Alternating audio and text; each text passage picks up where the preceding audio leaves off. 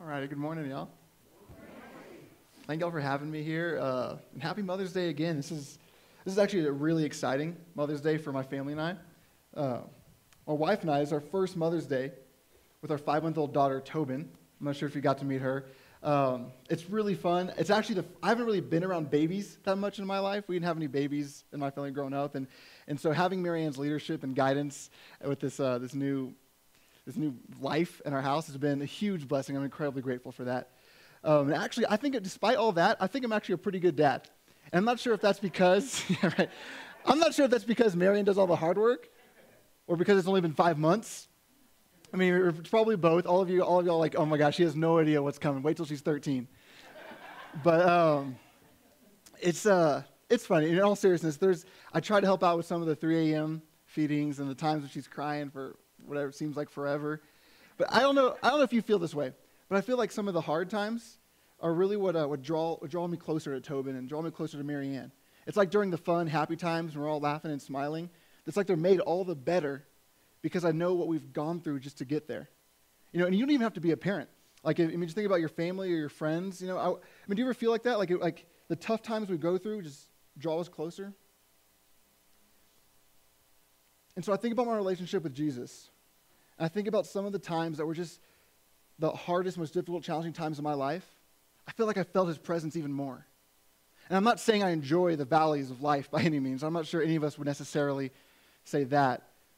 But what I'm saying is, I think when we go through some of these challenging times, we see and experience God in ways that I think we normally might miss. And so this morning, we're going to talk about these five women, these five moms who went through some really challenging situations and some circumstances that might even be a little bit uncomfortable for us to talk about, a little disturbing. And we're going to see God demonstrate the power of His grace to work through anyone's life, to work in anyone's situation, no matter what they've been, no matter what they've done, and no matter what's been done to them. So if you like taking notes, um, we're going to have a lot to go through. The title of the sermon is called Indelible Grace. The idea that we can't resist the grace of God. We can't just, we can't just get away from it. It's so powerful. There's nothing that we can do to stop God's might and God's goodness. His grace will accomplish His perfect will in your life.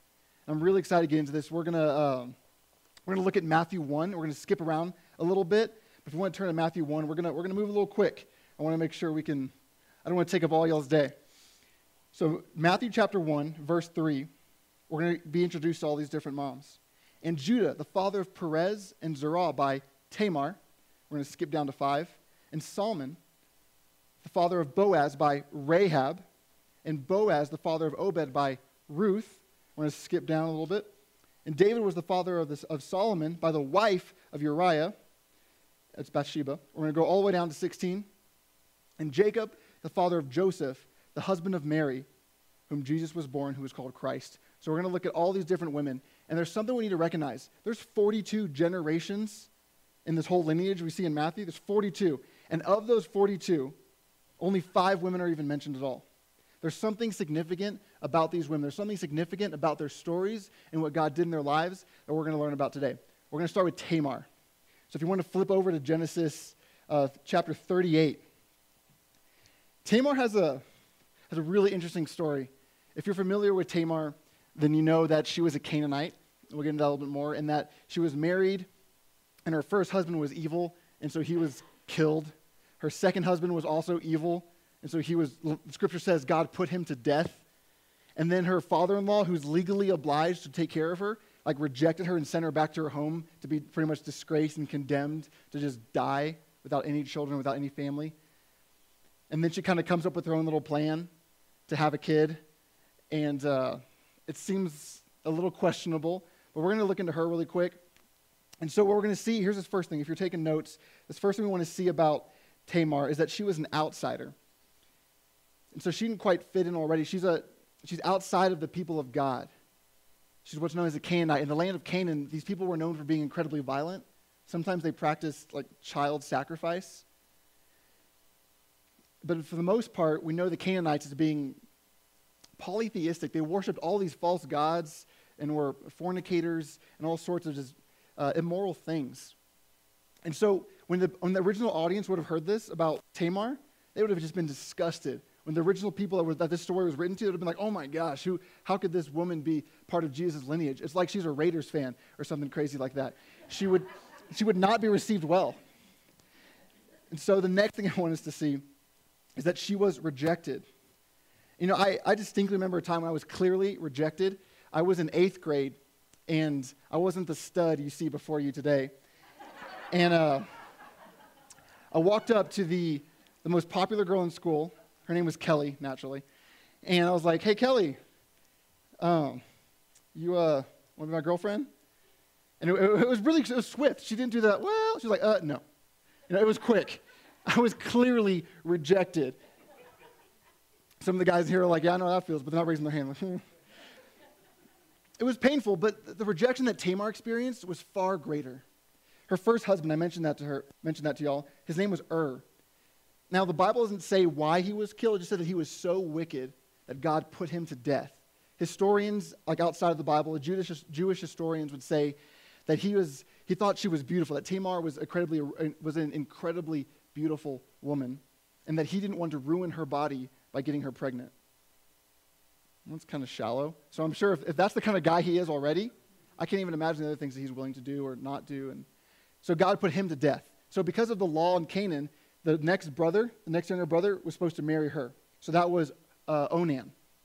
Now, Onan was kind of, I mean, I guess they say the apples don't fall too far from the tree. He pretty much just wanted to sleep with her, but never actually get her pregnant. He just wanted to use her body for his own pleasure, his own enjoyment. And so, I mean, you can begin getting the idea of how Tamar is like, is this all I'm for? Is this all I'm worth? And then God puts Onan to death. So now Judah is thinking, so Judah actually thinks that Tamar is the reason for this. So he's like, well, my, my youngest son is too young for you. Um, go, go away, go back to your home, and I'll give him to you when he's older. He's not going to, and she kind of like, the fact that he was sending her away is already a sign that I'm abdicating my legal responsibility to care for you. Though the, though the community would still see her as belonging to him. But he was like, I, I want nothing to do with you. So now she's been, she's, she's pretty much been um, and, like married to a really shallow guy with Ur, married to an even maybe worse objectifying shallow man in Onan, and then rejected by her father-in-law. Now I pray that no one in here has experienced this type of pain, this type of rejection. But if you have, then you might have a better understanding of why Tamar reacted the way that she did. What would happen is she found out that Judah, her father in law, was going to this big party. His wife had died, he was mourning, and now he wanted to go party and get drunk and do a whole bunch of his stupid things. So she decides to kind of take matters into her own hands. She dresses herself as a prostitute and waits on the side of the road. Now, the scripture, if you look at the story, you'll see it. She's literally just, she's just standing there, and Judah's like, What's up? and comes up after and like approaches her. She doesn't have to do anything. So now we're seeing more about Judah's character. He, he just finished mourning the, the death of his wife, and now he's trying to get with this prostitute he just met on the side of the road. For payment, she pretty much gets three forms of identification from him, basically, as a collateral. But what I want us to see is later on in the passage, we find out that, or Judah is informed that she's pregnant. And he's like, well, bring her out. She needs to be burned. The adulteress must be burned. She, the reason he found out is because he's still legally responsible for her. And so he's going to execute the, the death of her, but he didn't want to have any responsibilities. That's, again, we're seeing some really messed up things here. And she says, when they brought her out, she says, Wait, by the man to whom these belong, she held these three forms that only he would have a ring, a cord, and a staff. By the man to whom these three, these three things belong. And we'll see it in uh, verse 26. She says, I'm, I'm pregnant. Like the, this guy right here, whoever owns these, that's the guy who made me pregnant. They're like, oh man, that's Judah. So you're not an adulteress. That's part of the law. He, he can do that. It seems kind of weird to us, but he can do that, and that's okay. And Ju- then Judah replies in, in verse 26. Then Judah identified them and said, She is more righteous than I, since I did not give her my son Shelah. And then he be, and then says he did not know her again. He didn't sleep with her again. He took care of her. What's really important here is that her sons, she had twins. One of them was Perez, and that would continue the lineage of Jesus Christ. God could have given her any number of kids, but he gave her a son that would, be, that would continue the lineage of Jesus, that would continue down the line. God intentionally put her and her story and her actions into the ancestry of Jesus Christ. Why would, we, why, why, why would God want to do that? Why would He want us to encounter a woman who was willing to, what some might even call a, maybe incestuous, but a really questionable decision? A woman who was so afflicted by, these other, by the sin of these other men. Why would He want that for us? You see, God's ultimate plan was never derailed. God never stopped loving her. God never abandoned her. God never forgot about her. In the midst of all that horrible thing that was going on, all those horrible sins, and even maybe her questionable decision, that couldn't stop God from accomplishing his will to redeem and bring about the birth of Jesus Christ many, many generations later. So we're going to keep going a little quick. We're going to hop over to um, Rahab. That's going to be in Joshua 2. So, Rahab, if you're familiar with her, throughout Scripture, she's almost exclusively identified as Rahab the harlot. She was a prostitute kind of by choice, possibly. I mean, I, I, Scripture doesn't tell us that she was forced into it, but it said that was her career. And what we see in Rahab is a woman who ultimately turned from her past to a new life in Jesus Christ. It's really exciting here. The first thing I want us to look at, though, is that she has a shameful past. Now, I know several Christians who continue to say things like, oh man, I, just, I, I carry this guilt. Like, I've done so many things in my past before I knew Jesus, or I've done things even after I knew Jesus, and they carry this shame, this guilt. They say things like, God could never use me because of what I've done. Or, that's great that God forgives me, but I can never forgive myself. Your past does not prohibit God from using you in the present and in the future. And we're going to see that with Rahab. Next thing, this one is this one there's a lot of talk about. She lied.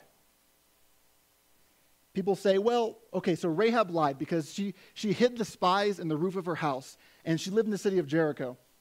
And the guards had found out, so they come to Rahab and they said, Rahab, where are the spies that have come to you? Where have they gone? She says, I don't know. They're in the roof. I don't know. They're, they, they left out the city gate, and if you hurry, surely you will catch them. And so they run out the city gate, and she goes back up there, and she's like, hey, y'all, I just sent them away. You're going to be fine.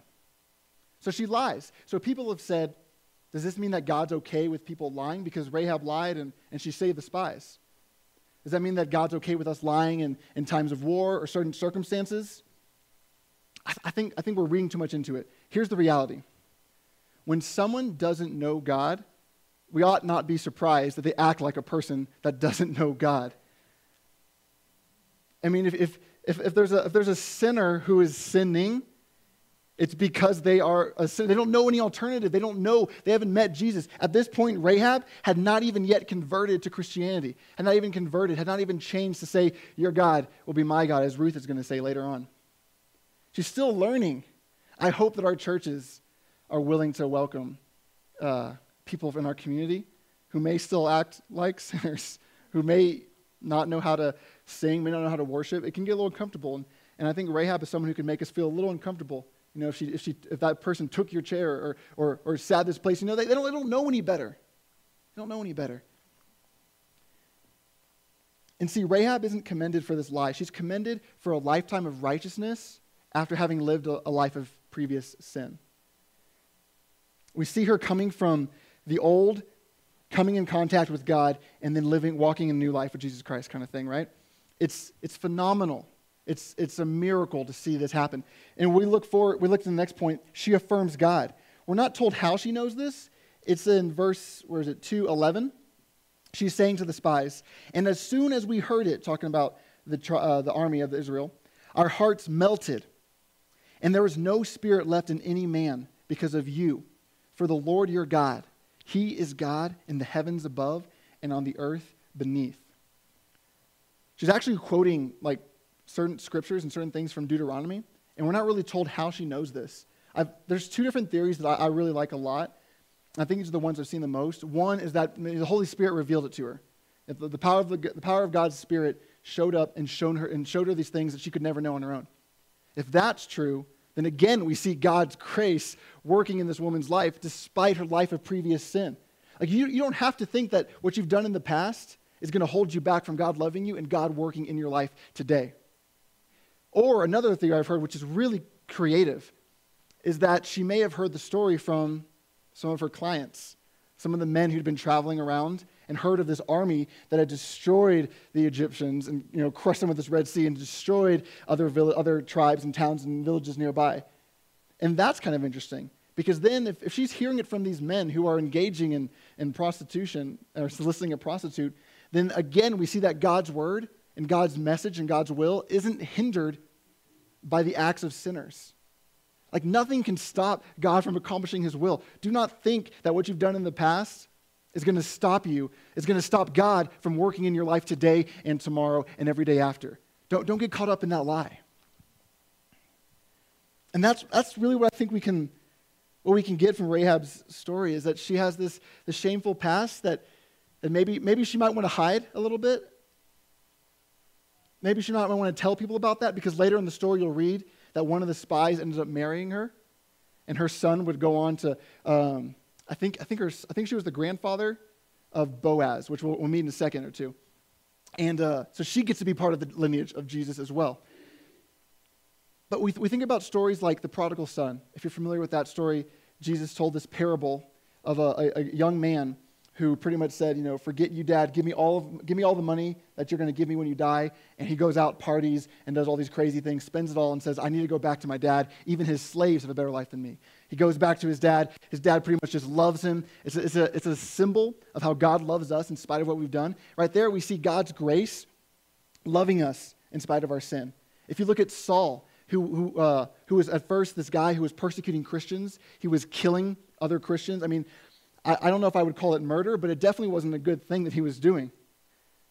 And then Jesus shows up and he's converted. He goes from Saul to Paul. And what we see there is we see God's grace working uh, to still use you in spite of your sin. God can still love you in spite of your sin, and God can still use you in spite of your sin, in spite of your past. What a great encouragement, moms. What a great encouragement, church, that we see this story of Rahab. I'm so happy that she's part of Jesus' lineage. We're going to flip over to the book of Ruth and we're going to catch up with Ruth. And I think I can even slow down a little bit. I just, I know, you know, we got, we got lunch, we got Mother's Day picnics and barbecue. I want to get y'all out.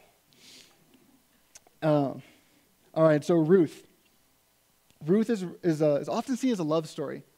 We have uh, Ruth who, who will meet Boaz, and it's this beautiful thing. But today I want us to focus on a different type of beauty. We're going to focus on the beauty of adversity. So here's kind of a, a quick overview, a little paraphrase of what was going on with, uh, with Ruth. She had just married, uh, and her, was, I think she's traveling back to Judah, the land of Judah, and her husband dies. Her mother-in-law, Naomi, her husband dies. So now her, her now her now Ruth's husband's dead, her father-in-law's husband's dead, and then another woman traveling with her named Orpah, who's the brother of Naomi of Ruth's husband, son of Naomi's, he dies. So now there's these three women. One of them is way beyond childbearing age, and two of them have been married and are no longer are probably no longer virgins, which is a big deal in this time period. And they're just kind of off on their own. All their husbands are dead. There's no more men. And the way society was set up back then is without a man or without a, without a son, as a woman, you're, you're I mean, that spells disaster. And so we see Naomi just completely just freaking out, understandably. I mean, if, we've, if you've ever been through some of these hard circumstances, you can understand why it's just hard to be like, God, you probably still love me right now. That's why you're doing this. You've taken all these things away because you love me. We'll see later on that she changes her name from Naomi to Mara or Mara, which means bitter. The first thing I want us to notice about Ruth, though, is that she was a Moabite, similar to Tamar, who was a Canaanite. She's still another outsider and even more so because she was leaving Moab and going to the land of Judah, where the people who would probably look down on her and say, You're from a condemned land of people who worship false gods and just do crazy things, and just going to look down on her again.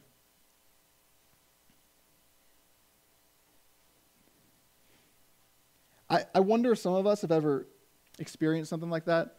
Maybe people, someone treated you different because of the family you grew up with, or where you were from, or how you were raised. I think we can kind of relate to Ruth a little bit just in that area already.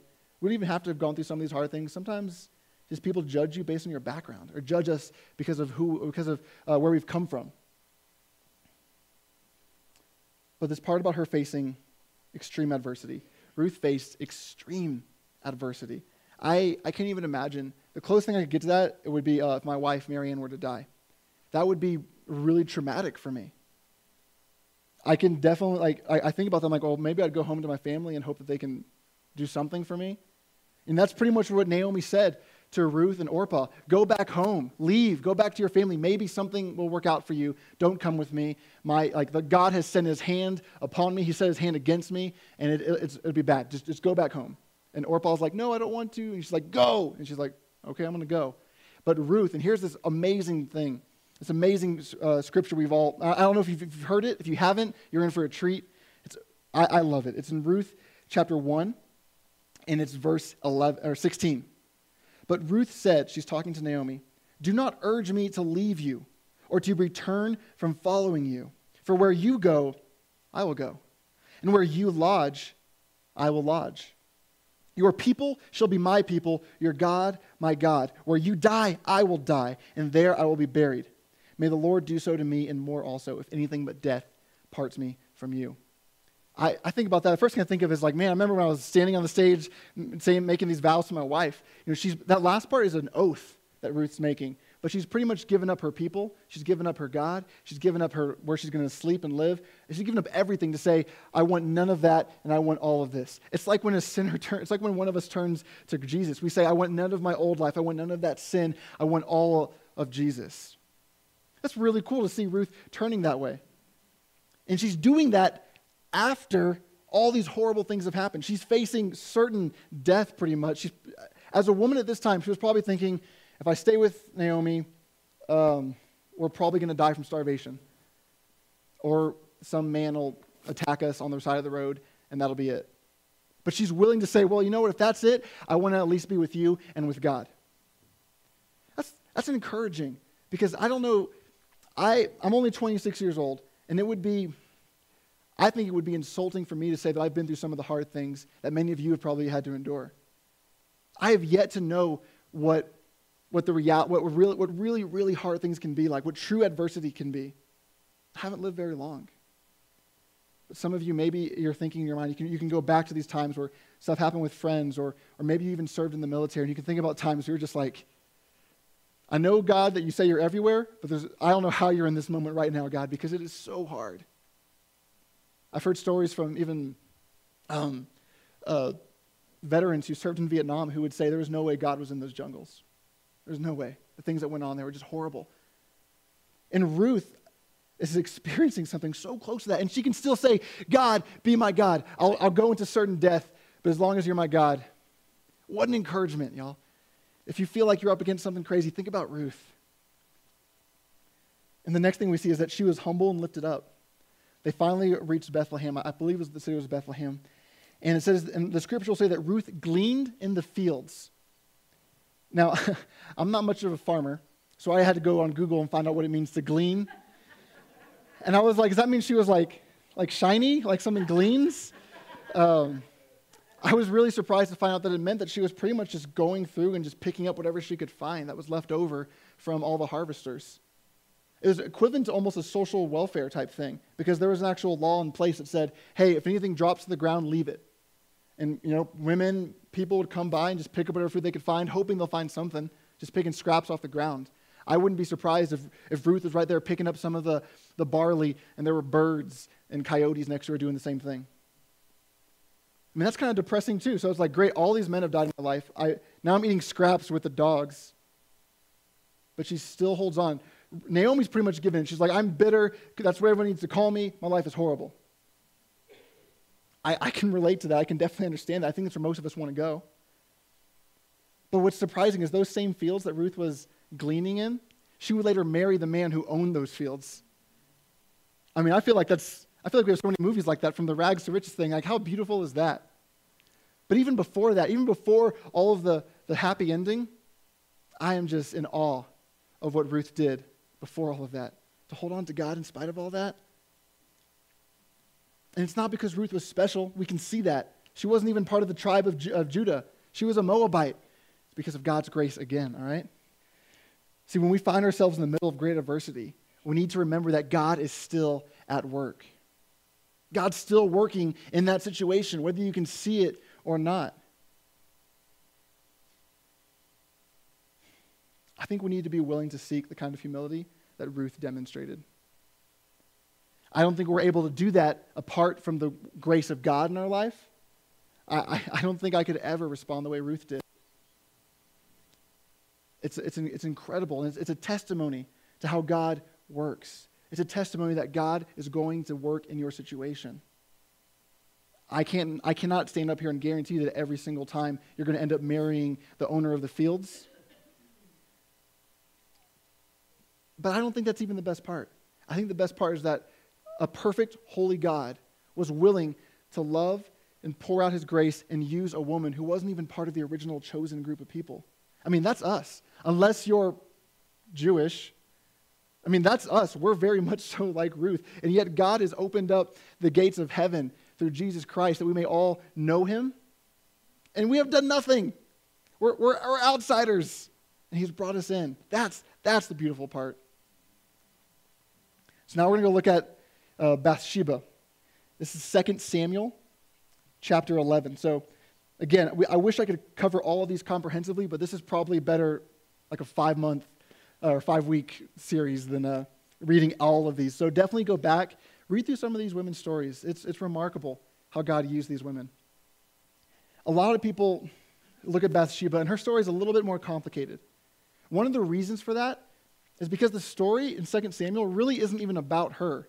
She's a part of it, but the story is meant, the author, is meant, the author was intending to focus on David. So some of the details are left out. And from that, we've had people say, well, Bathsheba was bathing on this roof because she was trying to seduce the king who was on his rooftop, and she was trying to get him because we know Bathsheba is having an affair with the king. That's typically what we think of when we hear Bathsheba. I know there's like a, a movie with them, um, and I think Bathsheba was David's true love or something crazy. We'll either say that we will either say that Bathsheba seduced David, or we'll say things like Bathsheba was a victim of King David, and he was this aggressor and took advantage of her. He was the king. He saw her. She didn't know about it. He lusted after her, brought her in, and slept with her. But again, I want to focus on what God does here. I want to focus on God as the main character and how God's working through all of these circumstances. So the first thing I want us to see here is that she was tragically affected by sin. In James 1:15, James is writing about sin. He says, "Then after desire has conceived, it gives birth to sin. And sin, when full grown, gives birth to death." See, their sin that they engaged in this, this affair, regardless of who started it, sin wants to destroy you. You, don't, you, don't, you can't just mess around with sin. You can't just, you know, it's not, you can't just like play with like a, a matchstick or, or, or like fire. You can't play around with sin. Sin is not like mercury in the 1960s. Sin is like mercury in the 1990s. We know it's poisonous and it'll hurt you. Sin is dangerous. And what we see with her is that she would get pregnant. And in David's effort to try and hide the pregnancy, hide the adultery he just committed, he tried to get Uriah, her husband, to sleep with her, and it wasn't working out. He ends up having Uriah killed in war, kind of secretly. And then he marries uh, his wife to kind of cover it up a little bit. So now we see her husband has died as a result of their actions. Their first child, the one that she got pregnant with, excuse me, that child would also die. I I can't imagine the pain of that her spouse just died and her first child just died. I mean, I remember when Marion was pregnant and we were going to the ultrasounds and everything, and um, it was so exciting. like, here's a baby, here's our first child. I can't believe where you can even make a baby. That's crazy. And it was such an exciting time. And I imagine as a woman back then, it was even more beautiful. Like, there's life in me. And that was gone from her, it was taken. If you read more into it, you'll see that that was part of a punishment for David's sin. But yet, God still loved her and still worked through her. We'll see that in the next part is that she became the mother of Solomon. The next son that she would have would become the future king of Israel. And this is really important to recognize because Bathsheba can be really controversial. And again, we see God saying, I'm going to give her a son that's going to continue to be in the lineage of Jesus Christ, thereby bringing her into the storyline. We're talking about her today, and we're talking about all these women today because God desired for them to be a part of Jesus' family tree. And some people would say, well, that's doesn't make any sense. Why would God want all these, these like shameful stories and, and kind of despicable things and painful um, situations to be a part of the perfect, holy, sinless Jesus?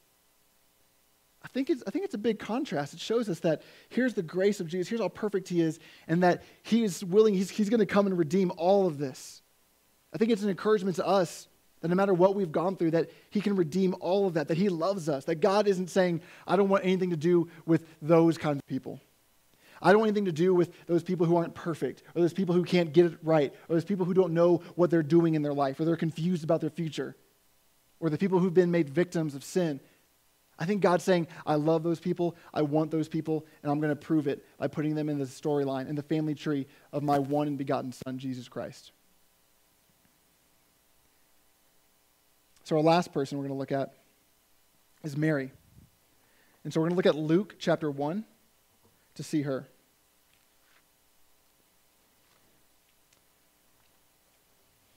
I think Mary is a little bit misunderstood as well.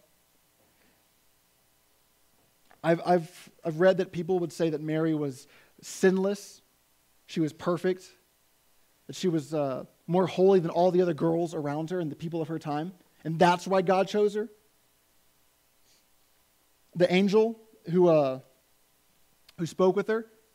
So here's the first point she encountered God's grace. But the angel who spoke with her said, Mary, you have found favor with God. So people have taken that to say, Mary, you found favor because you were holy, because you were sinless, because all the other women around were bad. So God had to choose uh, the good one, you know, the, the girl with the 4.0. That kind of thing, right?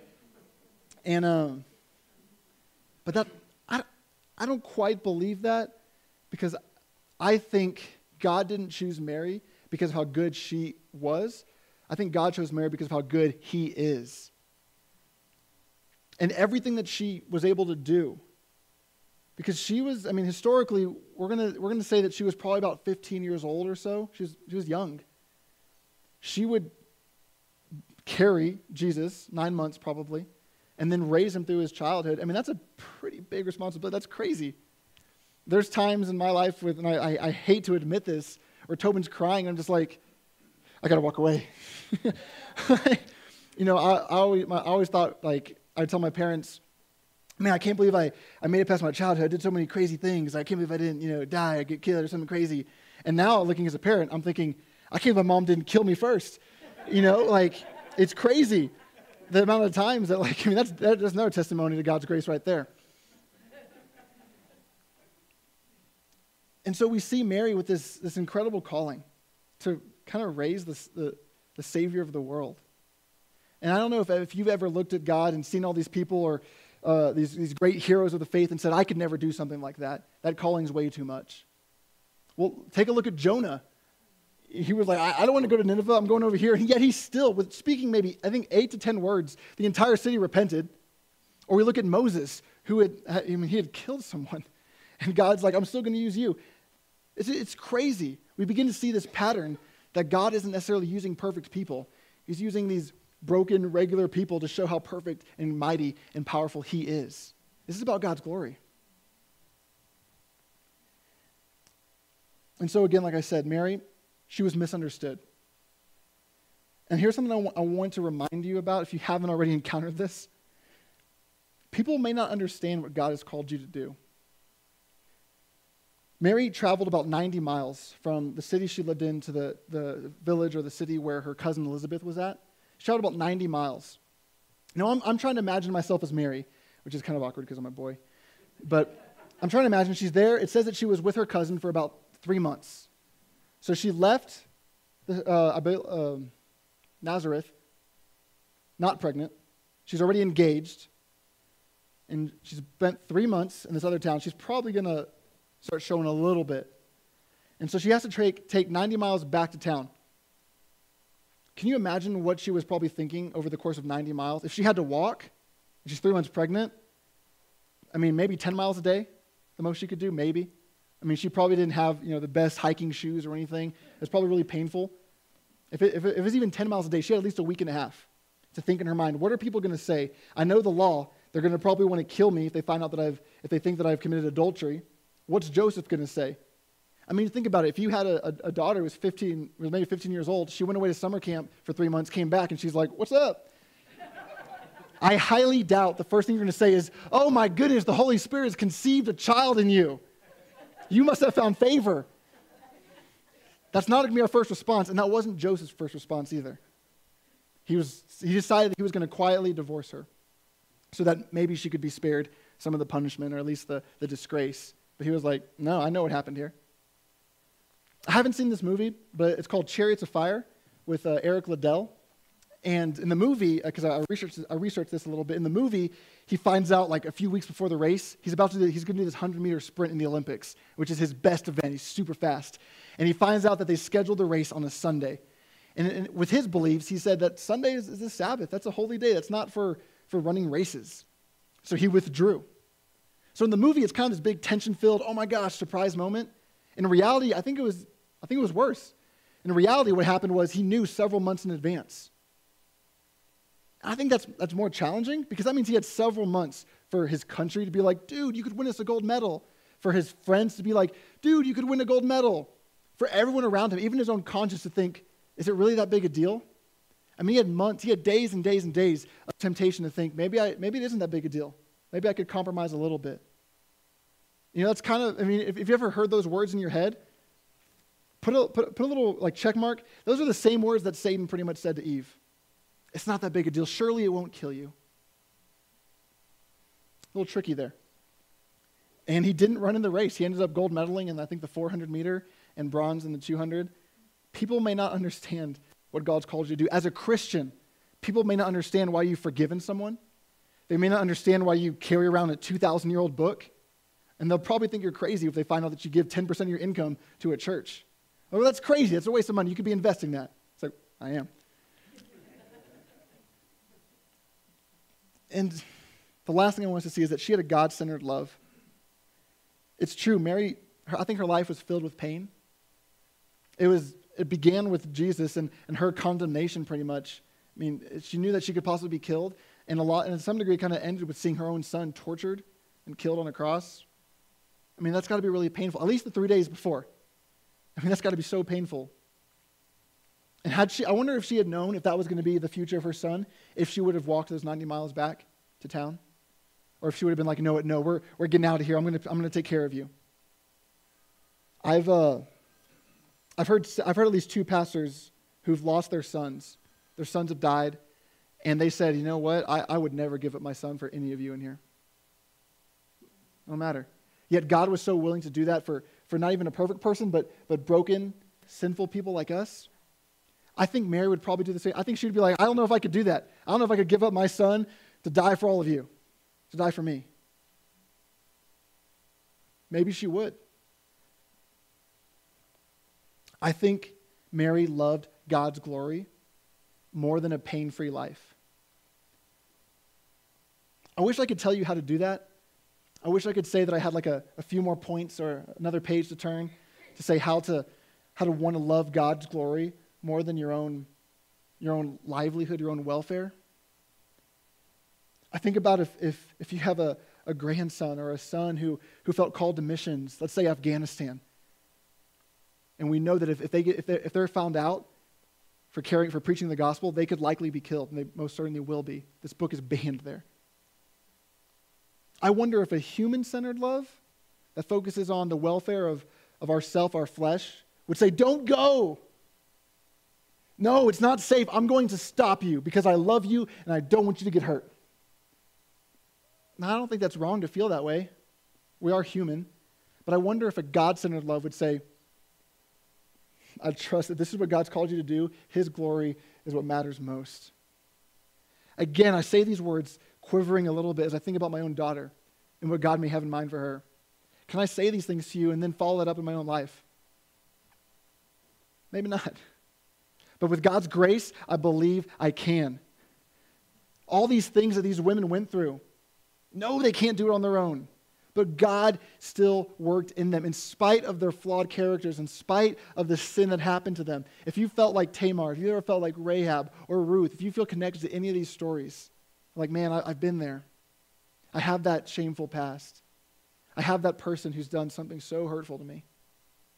Know that God can still use you. He's still at work right now. Your past doesn't prohibit your present and your future. God's still at work in y'all. And I, I mean, this is, this is Mother's Day, and I think it's so cool that God used moms to tell us this story. Because I, I'm not a mom, but I, I think it's such a hard job. I think if you, if you want a pain free life, you know, don't, definitely don't be a mom. or really don't even try to love someone. Because the love that a mom has, if you, if you want to get to that point, it's probably one of the most painful things I think you can experience.